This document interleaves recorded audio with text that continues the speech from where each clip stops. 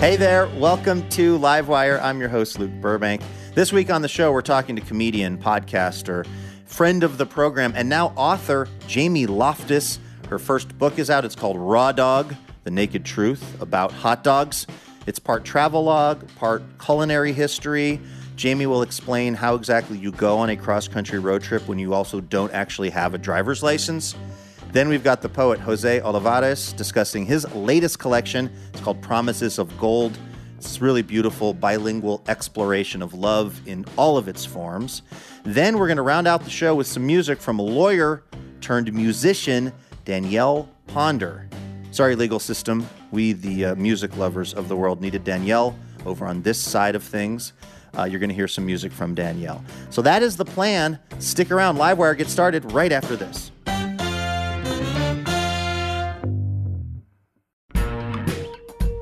Ever wondered what it's like to live alone, hidden in the woods, not speaking to a single soul for 30 years? Or wander the desert, uncover a hidden well, and dive to the bottom of the deepest waterhole for 2,000 miles?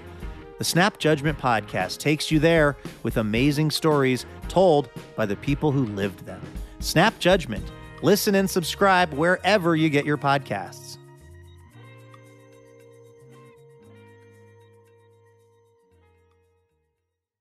Hey, Elena. Ciao, Luke. How's it going? Oh, my goodness. Are you really that person now? I know you've been in Italy. Ciao, ciao. Ciao, Elena. Welcome back from being under the Tuscan sun. Are you ready to do a little station location identification examination? Si, certo. Si, si, si. Okay, this is the part where of the show where I quiz Elena on a place in America where we are on the radio. She's got to guess where I am talking about. Okay, this place uh, was where uh, Scotch tape was invented. Hmm, definitely a place with a lot of people who immigrated from Scotland.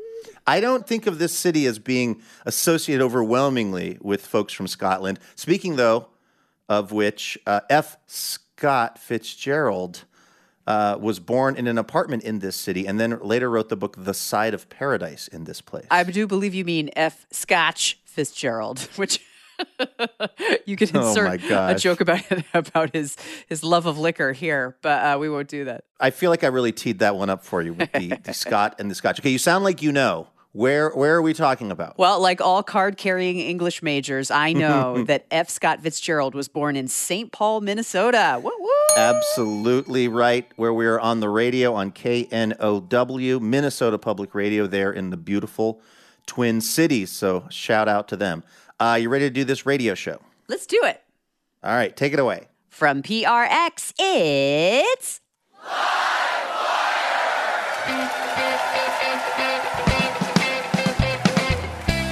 This week, podcaster and writer Jamie Loftus. I think it's like a nasty hot dog that will make you think like surely someone needs to answer for their crimes.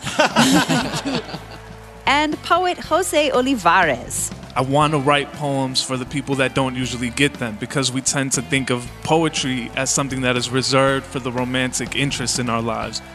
With music from Danielle Ponder and our fabulous house band. I'm your announcer, Elena Passarello, and now, the host of Livewire, Luke Burbank. Thank you so much, Elena Passarello. Thanks to everyone tuning in from all over the country, including the Twin Cities out there listening to KNOW Radio. We have a great show in store for you this week. Of course, we asked the Livewire listeners a question in honor of uh, one of our guests' experience, Jamie Loftus, who wrote this book called Raw Dog about hot dogs. She drove all over the country eating hot dogs in different parts of America. The question we're asking the listeners this week is what's your ideal road trip? We're going to have those responses coming up in a minute. First, though, it's time for the best news we heard all week. This is our little segment at the top of the program reminding us all that there is some good news happening out there in the world. Elena, what's the best news you heard all week? Well, I know we're talking about road trips this week, and I would like to take a road trip south of here to San Jose, California, because of something that happened recently. There's a gentleman named Dr. Robert Moore. He was a dean at San Jose State for many years. He's long since retired. And Dr. Robert Moore recently became a centenarian. He's now a member of the 100 year old club. Woohoo! And his daughter, Allison, wanted to do something special for him. And she knows he is an avowed dog lover. So she got on Nextdoor and asked her neighbors to walk their dogs past his house at a designated time so he could enjoy those dogs as like a fun community birthday present. Uh huh. What was probably like 10 dogs showed up, 12 dogs? She was hoping for 20, so kind of ambitious. I mean, I think. But it turns Hmm. out that 250 dogs showed up. That next door ask went viral. The dogs showed up with their owners in costumes. Some of them had on tuxedos, some of them had on cowboy hats. One lady just really wanted to come. She didn't have a dog, so she just brought a stuffed dog wearing like a fuchsia fedora. they brought cupcakes and flowers and signs and uh, just filed past his house for what I'm assuming took at least an hour, if not more. And uh, Allison says that her dad pet every single dog that passed by, which is so cute. I love this story. I love the idea of this happening. And I'm not the only one. Actually, our listener, John Mock, actually told us about this story. So thanks for letting us know about that, John. Yeah, hat tip, John. Thank you. My best news I saw this week also involves somebody who, well, they're listed in the headline as a granddad. Granddad wins gold in arm wrestling, but he's only 53, which the older I get, Elena, the younger granddads get, Yes. it would appear, because this is the story of a guy named Mark Walden. Mark Walden, um, like too many people, uh, became very ill during COVID. He actually contracted COVID and then uh, he turned into pneumonia. He was uh, living in the UK. And, um, and while he, for there was a period of time that he was kind of not sure if he was going to make it. He was very, very sick. And, um, Luckily, he pulled through. And as he was convalescing and just trying to kind of pass his time while he was still in recovery, he started watching a lot of competitive arm wrestling videos, like on his computer.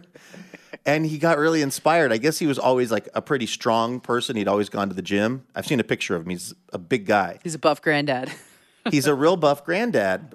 You might even call him a grandzaddy. I don't know. Whoa! But he, he decided if he, you know, made a full recovery, he was going to uh, get into competitive arm wrestling. And so he did. He got better. And then he started entering these arm wrestling competitions, and he was losing all the time. Oh, no. Because even though he was a big, strong person, he didn't have the specific muscle groups like in his hand and forearm that you need to be really, really top level at arm wrestling. And so he said he studied those muscle groups and started going to the gym to just work out those muscles. And he says the hardest part of his training was not even physical, it was kind of mental because he felt very silly at the gym, like doing some kind of pinky press. or- Yeah, I'm imagining all of his fingers having little sweatbands on, you know, like and that like while they do like like thumb squats or whatever. Right, exactly. uh, but he, I guess he overcame the embarrassment because he recently won two gold medals at the IFA European Championships in Finland. Whoa. So his dream that he that he sort of had while he was just you know not doing well with COVID has now come true. He is a European champion. Uh, he dedicates all of it to his grandkids. He's got a daughter named Grace, which is a great name. It's my daughter's name as well, and uh, she calls her granddad the Hulk. Like, what is that like to grow up calling your granddad the Hulk? Like that's a far cry from how we regarded Farnham Burbank. Yeah. Back in the day. We called my granddad Beepaw, which I don't think uh, well, it doesn't mean anything, but it definitely doesn't mean Hulk. yeah, Beepaw, you know, or Peepaw, or those those are more granddadish names Right. than than the Hulk. But anyway, the amazing accomplishments of Mark Walden, a buff granddad at 53. That is the best news that I heard all week.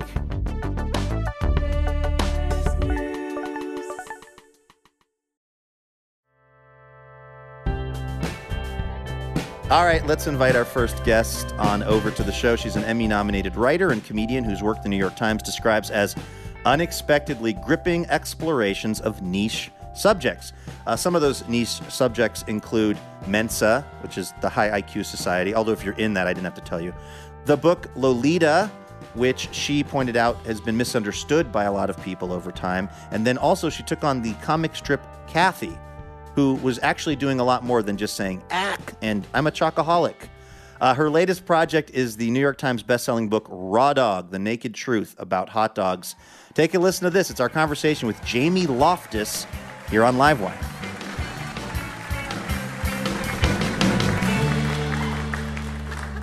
Hi, Jamie. Welcome back to the show. I'm so happy to be back. Um, it turns out that you're not only an amazing podcaster, you're an amazing writer. Um, was there a specific hot dog that you were having, or like a moment where you thought, yes, uh, this, this should, nay, this must be a book about This- hot dogs? I think it's like a nasty hot dog that will make you think like surely someone needs to answer for their crimes. because my my dad he's like sick of me repeating this in public, but he would do these really gnarly like boiled hot dogs hmm. that was very like dad's around right now. And he's gonna he's about to make an attempt. And so i always like associated this nasty mushy meat tube with like we did it. We're a family I don't know. I, I really love uh, talking and thinking about hot dogs because it is like, even when it's disgusting, it always feels very personal because most people uh, start eating them when they're very young. And it can be a very, very gross food that people will like absolutely die for because it reminds them of something uh, important to them.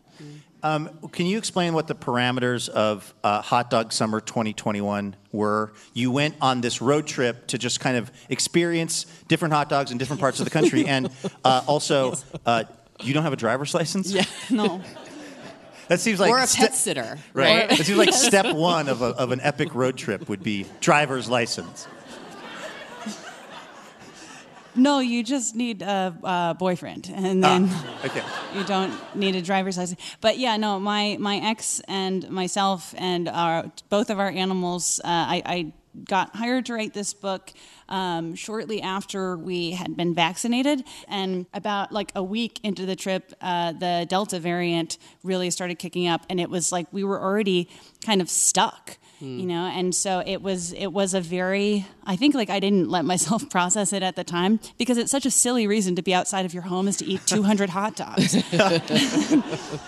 But i was contractually obligated to eat 200 hot dogs. And it was like we have to do it we have to do it safely and we have to do it together and i cannot drive the car I think a lot of these, I think a lot of these public radio types, and, and honestly, myself included, Jamie, are are kind of thinking like, aren't hot dogs terrible? Like on every level for us, for the animals. How do you, a socially conscious entertainer and writer, Jamie Loftus, square all of that? well it's uh, they're definitely bad for you uh, but I mean, they're uh, worse for the pig, right? Oh yeah. Oh. Arguably. harder to be yeah i mean I, th- I think that the animals are always going to have sort of the worst deal in hot dogs although there are uh, an increasing number of uh, vegan and vegetarian options that don't suck i swear they I, I've. I've wandered the earth looking for like a, a plant-based hot dog that has the snap. You talk about the Yeah. snap a lot in this book. I, I would love to meet the person who can replicate uh, animal skin breaking in your mouth with That's a all I plant. want. Because that's what it is. I'm a simple man. and I want someone to make a plant-based thing that reminds me of snapping through the innards of an animal. I, I truly think that a, a vegan that could accomplish that is a real sicko. it's a weird mission. But yeah, I mean, it's I, I try to say at the beginning of the book like vegans are correct, vegetarians are correct. Meat consumption is always going to be some sort of mental and ethical compromise. And so when I was researching how hot dogs are made, uh, it was about uh, 2020 and 2021. Um, the meatpacking industry was going through such a horrible time during lockdown, especially because of the Trump executive order to keep meatpacking uh, plants open, which essentially that executive order, it was revealed in late 2021, possibly early 2022. That was like drafted by the CEOs of Tyson and Smithfield. Hold on, let me sit down. let me sit more down. You're telling me a major agribusiness had a direct line to the Trump White House. Yes, they did. But But it's so, I mean, it's like that's not shocking. And then you read about the individual cases of how in, uh, individual workers and families were affected by that. And it's stuff that you, that is like truly sickening to have to face on a very human level. And that's not to speak of how they treat the animals. Um, and so I think like I had to reach a point where I was really hoping by the end, I'm like, mm, I'm going to be such a good person by the time I finish writing this book. I am never going to eat meat again. Like I am going to be, I'm going to go clear. and, um, which I didn't, and I I still don't really know why. I think that like I've never not eaten meat, and it was really I found it pretty impossible to stop. And so what I have been trying to do is to just not eat from Tyson and Smithfield, and try to eat uh, more ethically when I can. All right. Yeah. Well, I guess we'll say goodbye to sponsors Tyson and Smithfield. we had a great run. Sorry about that. Yeah. Um, all right, we got to take a quick break here on Livewire. Uh, we're going to be back uh, with Jamie Loftus. Her new book is Raw Dog. We'll be back in just a moment. Stay with us.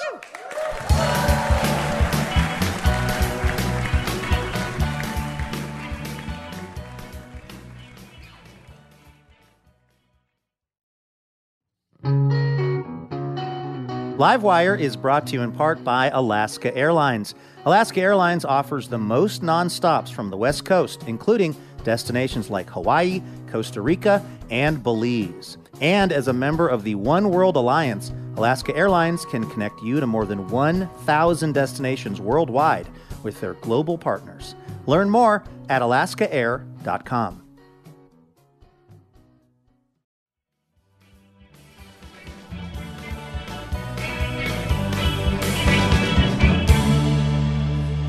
Hey, welcome back to Livewire from PRX. I'm Luke Burbank here with Elena Passarello. We are at the beautiful Alberta Rose Theater right here in Portland, Oregon, and we're talking to Jamie Loftus about her new book, Raw Dog The Naked Truth About Hot Dogs. Let's get into the five hot dogs you can purchase easily in heaven. Okay. This is basically the Mount Rushmore of hot dogs that you lay out in the book. Um, and uh, we'll just kind of go through them rapid fire. Uh, number one on the list appears to be the Costco hot dog. What is Okay. what's so, special about the I Costco? need to. I would like to stress easily purchased. They're not the best hot dogs. Right. They're just the ones that you can Are most definitely available. have. um, so Costco, Costco. Everyone is uh, always losing their minds every six months about how the CEO of Costco threatened to kill someone. this this email right that comes up all the time. It was a Jim Sinegal, I think, that Yes. saying he's gonna like fire the guy if the price of the hot dog and soda go up by five cents or something. He says he's going to uh, effing murder him. Oh, yeah, if he, which is a great story. But I always like people always send that to me, and I was like, there you got to consider the hero of this story is a billionaire CEO of Costco. I also think that story was published in like Costco Connections, which is the Yeah. newsletter for Costco. Which is the whole thing with like, I mean, hot dogs and like all sorts of marketing where you're like, they're making it up and you're circulating it like you just found out Keanu Reeves was a nice guy for the first time. like, I just, I, I, I have higher expectations of internet users, which is on me. Uh, what about the uh, what about the Home Depot hot dog? Okay, Depot Dog, that's something special. Uh, so I don't actually know if do you, does the Pacific Northwest have Depot Dogs? Uh, when I was growing up, they did, and the way that that little kind of foyer area, you know what I mean? Like you're you're in the the Home Depot, but you're not all the way in. Yeah. Would smell like the hot dog cart. It's so good. So they're independently owned hot dog carts outside of Home Depot. Why? Shut up. It's great. There's like certain areas where like we do taco stands, we do like uh, diff- there's different kinds. There's hero stands, stuff like that. But like Depot dogs, no matter where you go, everyone is always so thrilled. And like there have been uh, state representatives that have spoken out when Depot dog stands have closed. Because Home Depot, after a while, was like, what is going on? Like, we're not getting a cut of this. and then public officials were like, you cannot shut down that hot dog stand. My aunt loves those hot dogs. What about hot dog on a stick? They also make the list. they do. They, may, they because it's an easily gettable hot dog. Hot dog on a stick, you know, it's fine. It's uh, Is it's, that where they wear the hats? That's where they wear the sexy little outfits. Yeah. It's a weird one. It's just like a sexy little hot dog that comes out of sexy little Muscle Beach. And you eat it and you're like, nah, fine. Uh, then you have Auntie Anne's. yes. Auntie Anne's fascinating. If no one knows the story of Auntie Anne, it is so wild. She grew up uh, in an Amish community in Pennsylvania. She and a number of women in her community uh, were survivors of sexual abuse from a priest in their community. No one saw this twist coming. I swear this ends with a hot dog. Uh, I have to cut the tension in the room because it is very scary. So, so there is an abusive person in their community. They speak to each other about it. They force this priest out of the community, and uh, Auntie Anne and her husband decide they want to start a community center for women who have survived sexual abuse, but they don't have any money. So Auntie Anne decides she's going to start making pretzels. And now she's a pretzel gajillionaire. It's so, and then she did speak at the Republican National Convention. So, you know, it's com. I yeah, I know what your politics are. But it's hot dogs. Like you gotta. Right. I mean, it's an American story. You- You buy the ticket, you take true. the ride. Yeah. Um, Yeah. We're talking to Jamie Loftus about her book Raw Dog. Let's talk about a place that you visited that I used to also go to often. mm, About two in the morning when I lived in Washington D.C., and that would be Ben's Chili Bowl, Yes. home of the half smoke. yes. Um, and uh, what what did you think of the hot dog, and also why was that place of particular interest to you? Oh, I mean, that business is fascinating for a number of reasons. It's uh, one of the few black owned hot dog businesses that I covered uh, throughout my travels. There's not many, especially um, ones that have as huge an impact. There's all of this lore, like DC based lore, uh, connected to Ben's Chili Bowl, where allegedly. Um, MLK began writing the I Have a Dream speech. There's a lot You can't of say that about an Auntie Anne's. no.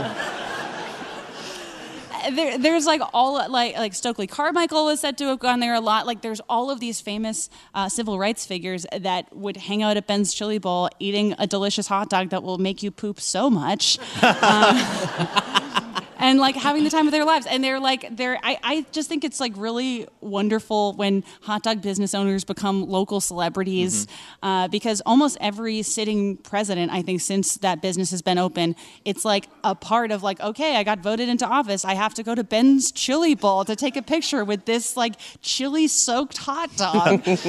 And i think that that's great. I also notice across the country uh, jimmy fallon has been to every hot dog place in the entire world. Because there's a picture of him. Yeah, I was just like, go to work. I don't know. it's like really bizarre. I thought you were going to say like Guy Fieri or something. I'll He's be in a random place sometime and just look up and he'll just be there with like his Oakleys on backwards, just like approving of this gas station bathroom I'm in or something. like, like man, he's been everywhere. There is a place I went to in North Carolina that I don't know what the theming of the restaurant was before Guy Fieri went there because it seemed like the theme was Guy Fieri's been here. he was everywhere.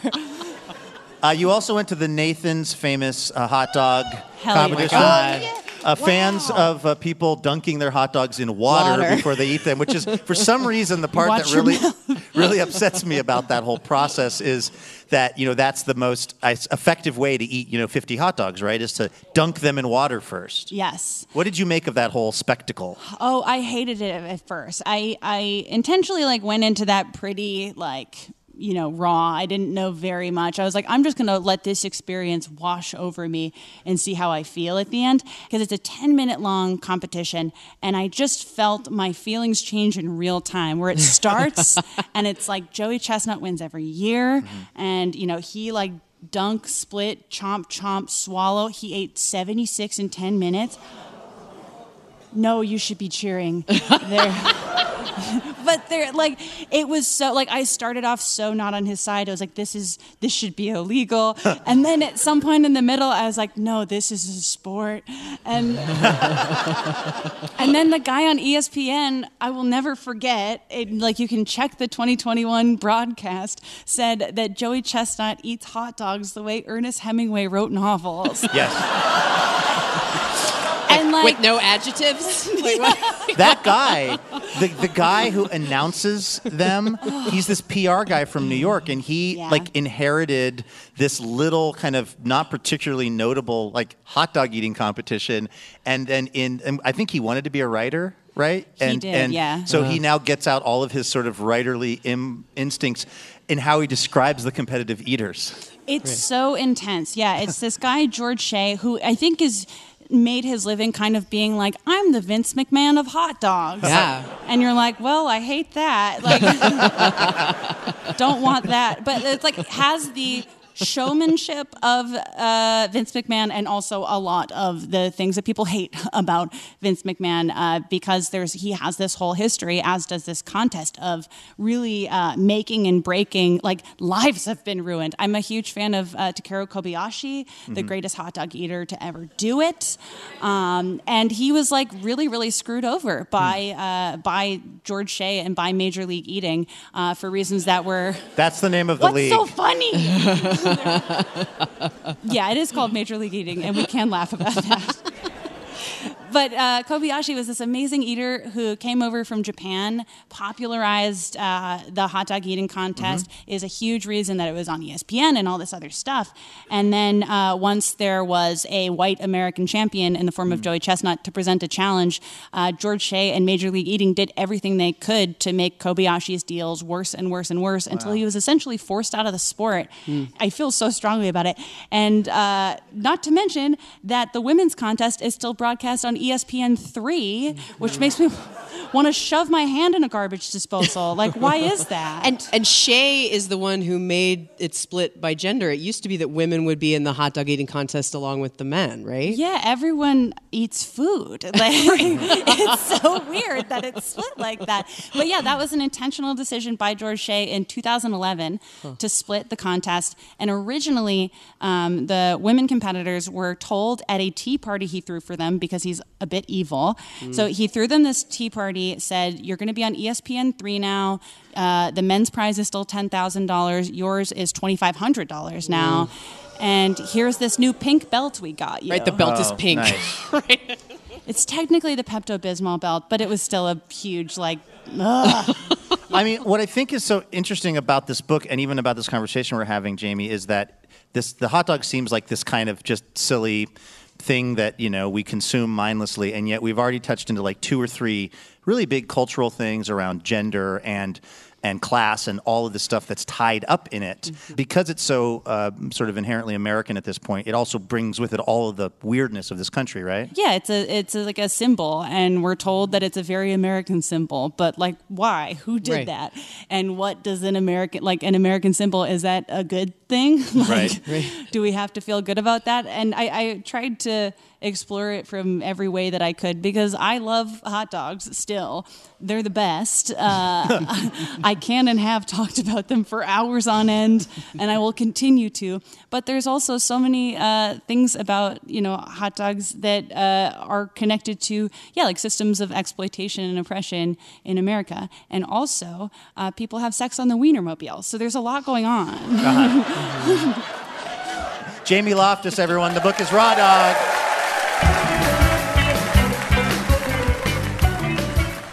That was Jamie Loftus right here on Livewire, recorded at the Alberta Rose Theater here in Portland. Her new book, Raw Dog The Naked Truth About Hot Dogs, is available now. Special thanks this episode to Mark and Jamie Luce of Mukilteo, Washington. Mark and Jamie are part of the Livewire member community, and they are generously supporting our show with a donation each month, and we are very thankful for that because it is genuinely what allows us to keep Livewire going. So, a big thanks to Mark and Jamie out there in Mukilteo, Washington.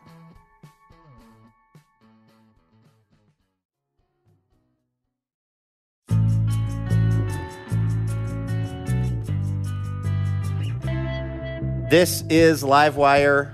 Our next guest's debut book of poetry, Citizen Illegal, was named a top book by NPR and the New York Times. His latest collection of poetry, Promises of Gold, is a bilingual exploration of love in all of its forms. It's truly beautiful. Let's take a listen to this. It's Jose Olivarez at the Alberta Rose Theater here in Portland.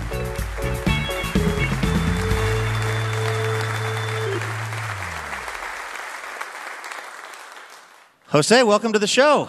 Thank you for having me. Thank you for traveling all the way from Jersey today to be here in Beaverton. You know, all in the day's work. Yeah, man. You write in the foreword of, of your new book that you wanted this to be a book of love poems for your homies, uh, you know, kind of your non romantic friends, but then it didn't exactly turn out that way. What happened? So I, I had the idea for the book before the pandemic started. And so in my mind, I'm like, this is a pretty straightforward book of poems. I want to write poems for the people that don't usually get them because we tend to think of poetry as something that is reserved for the romantic interest in our lives, right? My friend Nate says that we usually go to poetry in times where someone's either getting married or buried, right? um, and so in my mind, I'm like, I want to kind of fill in the gaps. And then when the pandemic happened, all of my language became a lot darker, and I realized how much fear I was living with and how much uncertainty, I mean, and anxiety was just kind of filling my poetry. And so the poems themselves are, are kind of aiming at this type of love while a lot of times landing in uncertainty and anxiety and all of those other emotions. I'm curious about your growing up years and words and poetry and things like that. Were those in your life growing up in, uh, it was Illinois? Yeah, yeah. So I grew up in Calumet City, Illinois, in the south suburbs of Chicago. And also, my parents are immigrants. They came from Jalisco, Mexico. So English is my second language. And so that means for a large part of my life, I was often very quiet because I didn't want to mess up the language and have people laugh at me, right? I didn't want to mispronounce anything. And so I was used to kind of living in that quietness and but I was always listening. Like I loved language. Even when I couldn't fully understand English, I loved the way my peers would kind of like flip words and make up phrases on the fly. And so uh, what poetry allowed for me was it gave me a chance to think about like do I really want to be quiet, or is this quiet something that has kind of been put upon me, right? Mm-hmm. Um, and so when I was kind of asked to write my own poems, I was like, it turns out I have all of this language that I've just been kind of storing and thinking about for all of these years. Can we actually hear something um, from the book? I was hoping that we could hear uh, Ode to Tortillas. Yeah, absolutely. so this poem is called Ode to Tortillas it was inspired by eating tortillas. it's deep, you know what I mean? Poetry. How does it happen? Who knows? Ode to tortillas. There's two ways to be a Mexican writer that we've discovered so far. You can be the Mexican writer who writes about tortillas, or you can be the Mexican writer who writes about croissants. Instead of the tortillas on their plate? Can you be a Mexican writer if you're allergic to corn? There's two ways to be a Mexican writer that are true and tested. You can write about migration or you can write about migration. Can you be a Mexican writer if you never migrated, if your family never migrated? There's two ways to be a Mexican writer. You can translate from Spanish or you can translate to Spanish, or you can refuse to translate altogether. There's only one wound in the Mexican writer's imagination, and it's the wound of the chancla. It's the wound of birria being sold out at the taco truck. It's the wound of too many dolores and not enough dollars. It can be argued that these are all chanclazos. Even death is a chanclazo. There's only one miracle gifted to Mexicans, and it is the miracle of never running out of cheap beer. It's the miracle of never running out of bad jokes. There's infinite ways to eat a tortilla, made in the ancient ways by hand and warmed on a comal, made with corn or with Taco Bell plastic. they count. what about flour tortillas? Flour tortillas count if you ask San Antonio. My people, I am poly with the tortillas. you can eat tortillas with your hands or roll them up and dip them in caldo like my mom does. You can eat them with a fork and knife like my bougie cousins do. What bougie cousins? I made them up for the purpose of this poem. You can eat tortillas in tacos or warmed up by microwave and drizzled with butter. Tortillas con arroz, tortillas con frijoles. Tortillas flipped by hand or tortillas flipped with a spatula. Tortillas with eggs for breakfast. Tortillas fried and sprinkled with sugar for dessert. Hard shell tortillas. Gluten free tortillas for our mixed family. we are still discovering new ways to fold a tortilla to cut a tortilla up, to transform a tortilla into new worlds, to feed each other with tortillas. My people, if I have children, I will teach them about tortillas, but I'm sure they'll want McDonald's. Jose Olivarez reading from Promises of Gold here on Livewire. Uh, you talk about translation in that poem, and the, the layout of this book is really interesting. So uh, it's half of it is uh, in English. Well, it's the same poems, but in English, and then the other side is in Spanish. So you flip it over to read whichever side you're reading. Did you always have that in mind for this book? That idea came from doing community workshops with bilingual students and bilingual families. And what I would find is, you know, I would give readings to students who were fluent in both English and Spanish, and that would be great. But then I would give workshops that included their parents and the parents only spoke Spanish. And so I would do those workshops in Spanish, and those were also great.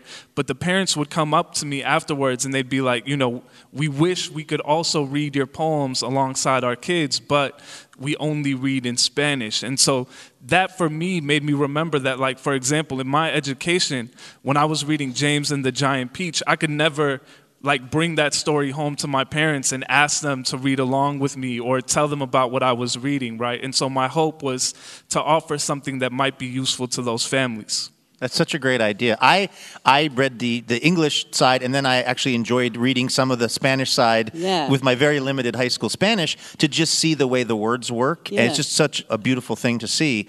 Uh, but there's a, a note from the translator in the book. I'm curious, you speak Spanish, but did you have the poems translated into Spanish? Yeah, so I worked with a translator named David Ruano Gonzalez, who's a poet from Mexico City. And the reason I worked with the translator is because, like I mentioned, I studied in English. And so that's really the language that I feel most comfortable with being creative and kind of thinking academically in at this point. Um, so when it came time to translate my poems, like I could, I could get a rough estimation, but to do it with the kind of precision and art mm. that poetry requires and the musicality, I really needed to kind of lean on David. Do you have conversations with your translator when he's like working through the book about the things that aren't necessarily there in a word to word translation, like you said, the art? Yeah, absolutely. I mean, the way, I mean, you could kind of tell from that poem, right? But I like to write in vernacular and kind of really draw out the music of the everyday. That's something that's really beautiful to me. And so David would have questions because he'd be like, you know, I Googled this word. and, uh, Bougie. yeah, yeah, bougie. And it's just, it's not making sense to me. And so then I'd have to like explain it to him and he'd be Do you like, remember where it landed on the Spanish side, what we did with Bougie? Yeah, yeah, los primos, los muy muy, I think is what. Okay. Los muy muy. Nice. Los muy muy, yeah. nice. Um, the, the poem that we had you read, you talked about there being sort of two ways to be a, a Mexican poet. Do you feel constrained at times by an expectation about how you might be as a poet who is Mexican American? Like if you just don't necessarily want to write about something related to that experience on a given day? Yeah, kind of. I remember, so in my first book, there's a, you know, there's also basketball poems, and I remember sometimes being asked by audience members, like, in a book that is about immigrations and its discontents, why is there a poem about Scottie Pippen? and I'd be like, because I like Scottie Pippen. you know what I mean? Like, Right.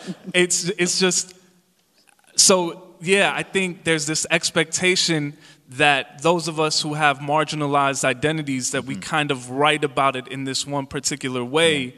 And for me, I want to think about like how I present those pains and then also, you know, what I want to share and what I don't. And in that, what I might gain by by surprising people and reminding them that even through those moments of struggle and pain, that there's always a lot of joy and song and dance. Yeah.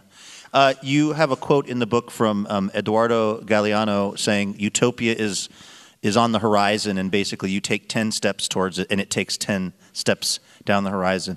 I'm curious, what keeps you walking?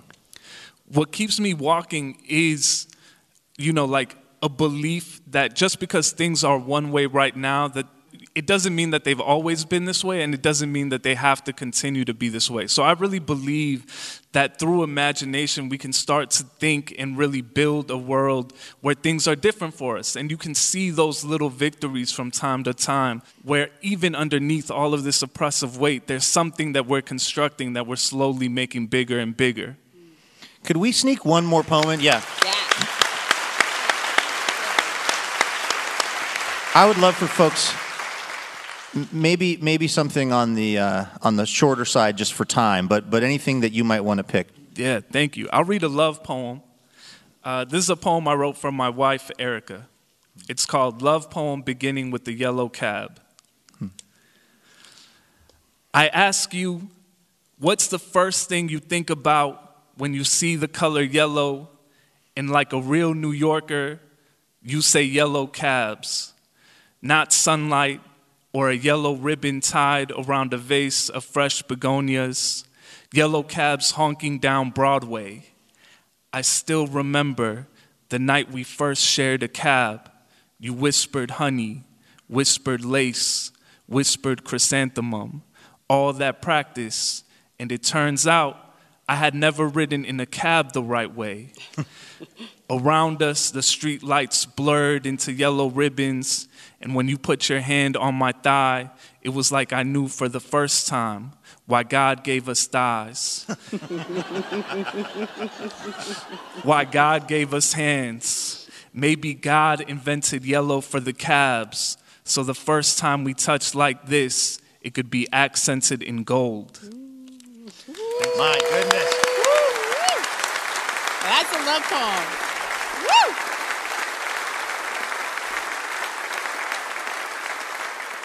Jose Olivarez, thank you so much for coming on Livewire. The book is Promises of Gold. Thank you.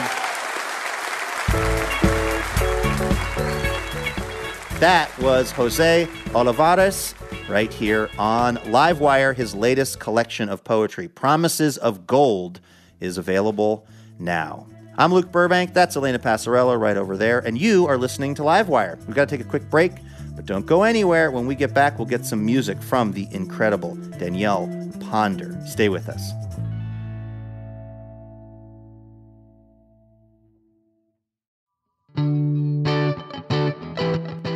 Welcome back to Livewire from PRX. I'm Luke Burbank here with Elena Passarello. As we do each week, of course, we've asked our listeners a question uh, in honor of the uh, book Raw Dog by Jamie Loftus, where she road trips around the country. We asked our listeners, What's your ideal road trip? Elena has been collecting up those responses. What are you seeing? This is an ambitious one from Justin. My goodness. Okay. Justin says the ideal road trip involves my besties, impeccable Wi Fi, edibles, a karaoke machine, board and card games, mimosas, a lit charcuterie board, and any destination as long as there is a self driving car. Wow. I think Justin needs to look into a party bus. yeah, I think he might be At least that's what's describing. yeah. described. Yeah, and, and a chauffeur maybe might do a little better than a self driving car with all the antics that are happening on that epic road trip. Yeah, definitely make sure you've got somebody or some other machine driving that thing.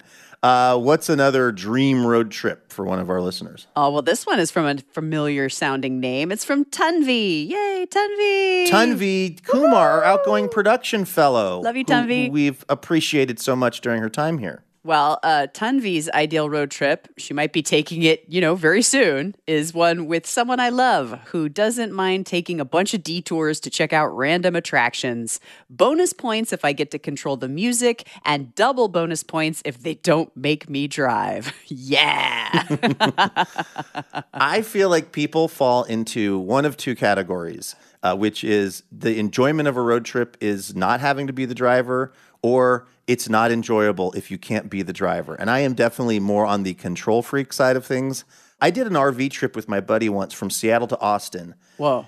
He never touched the steering wheel. Ah, wow. I drove the entire, and that wasn't the plan going in. It's just, and it kept being like, "Hey, man, uh, you know, if you want to, if you want to hand the keys over, that's fine." I'm like, "I'm good. I'll do a couple more hours." I think low key, I was just worried about him being able to operate it. Well, when David and I road trip from Austin to Oregon, I never touched the steering wheel. I think this the key to doing that is to be such a bad driver. Someone would rather drive 2,200 miles solo than have you behind the wheel. But you enjoy getting to just be like ride along. I think on TikTok they call that passenger princess. Yeah, and also I, I like to travel with my cats, so there's often like cats to wrangle while that's happening. Do you let your cats free range sometime in the car? yeah, they, you know, they all but one of them prefers it. Uh, uh, we haven't taken a road trip with them in a long time, but they kind of seem they like to just sit on my lap and uh, like curl up in a ball and just wait. That's Bubbles' whole move. I mean, uh, people will email us. I don't know about the legality of this, but Bubbles uh, really likes to just ride along in the car, and she's generally okay. She's generally well behaved, so that's kind of been our system for now. Yeah, yeah. All right. Thank you to everyone who wrote in with answers to our question. We got another listener question for next week's show coming up in just a minute. And we're going to get some music from Danielle Ponder. So stick around for all that. I do want to tell you what's coming up on the program next week. We're going to be talking to Ginny Hogan about her path to comedy. It's one of those classic stories, Elena. A data scientist at a mayonnaise company starts blogging about their online dates and end up having a career in comedy writing. Her latest book is I'm More Dateable Than a Plate of Refried Beans. you know, um, dare to dream is what I would say. Uh, then we're going to hear from Oregon's poet laureate, our friend Anis Mojgani. His poems uh, tend to literally bring me to tears when he's on the show, uh, reading them for us.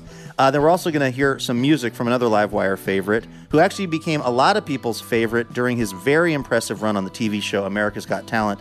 It's Jimmie Herrod. We'll be hearing from him as well. And as always, we want to get your answers to our listener question. Elena, what are we asking the Livewire fans for next week's show?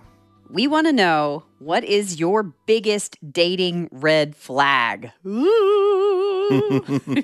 What's yours? well, mine is they cannot be imaginary. I think that's a fairly low bar. Yeah. Uh, also, they have to like my husband, I guess. And does David have to like them?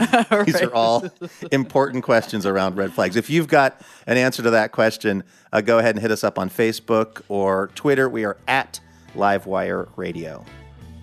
This is Livewire from PRX. Our musical guest this week turned to a career in law after her brother received a 20 year, three strikes prison sentence.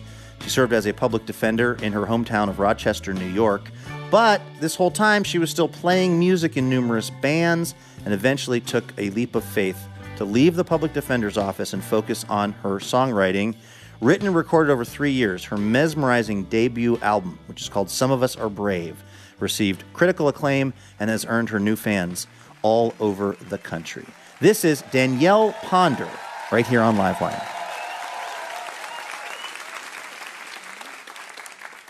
First of all, thank you to both of you for flying all the way out here from Rochester, New York today to do this. We appreciate it so much. Thank you so much for having us. What song are we going to hear? I'm going to do this song called So Long, which is a song I wrote uh, when I went to LA and felt like I, I didn't belong and kind of had imposter syndrome. And like most of my songs, it was what I needed to survive the moment. Um, and I dedicate this to all artists and creatives who might feel like it's too late for them. I signed my first record deal at 39. I did my, thank you. my first U.S. tour was at 40, and um, here I am now. So, uh, yes, it's called So Long. This is Danielle Ponder with Avis Reese here on Livewire.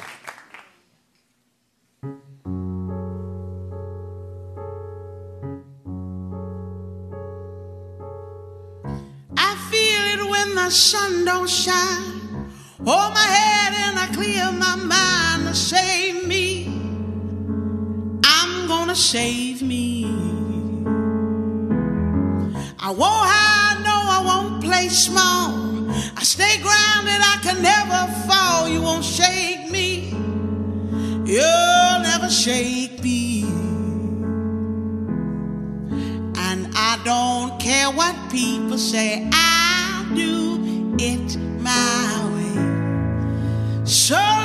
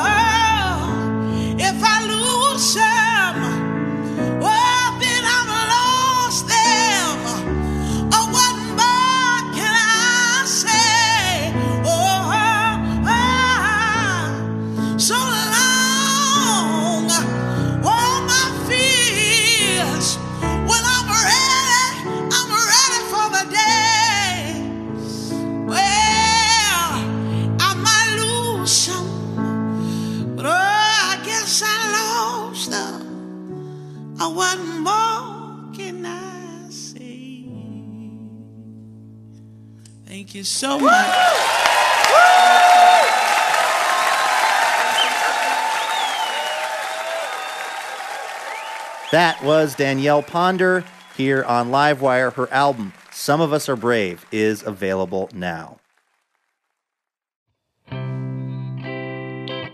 That's going to do it for this week's episode of the show. A huge thanks to our guests, Jamie Loftus, Jose Olivarez, and Danielle Ponder. Livewire is brought to you in part by Alaska Airlines. Laura Haddon is our executive producer. Heather D. Michelle is our executive director. And our producer and editor is Melanie Sevcenko. Molly Pettit is our technical director and mixer. And our house sound is by D. Neil Blake. Trey Hester is our assistant editor. Rosa Garcia is our operations associate. Tunvi Kumar is our outgoing production fellow. Yay, Tunvi! And Julian McElmurray is our intern. Our house band is Ethan Fox Tucker, Sam Tucker, A.L. Alves, and A. Walker Spring, who also composes our music.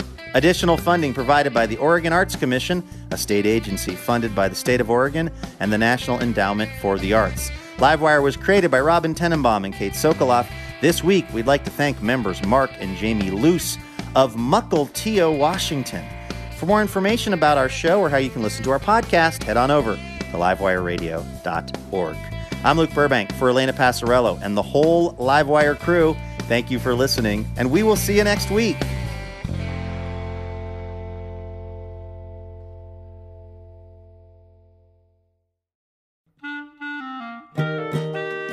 Wouldn't it be amazing to have a piping hot episode of Livewire delivered right to your heart and ears each week? Well, guess what? That can happen when you subscribe to the Livewire podcast feed, and you'll get the joy of surprising conversation every week. So go ahead and do it. It's super easy. You click on the button at the top of your podcast app, and bam, you are Livewire subscribed. And if you're still, you know, feeling the love, if you're enjoying the show, hey, maybe you could hook us up and uh, leave us a quick review. That'll help more people find out about Livewire. And thank you.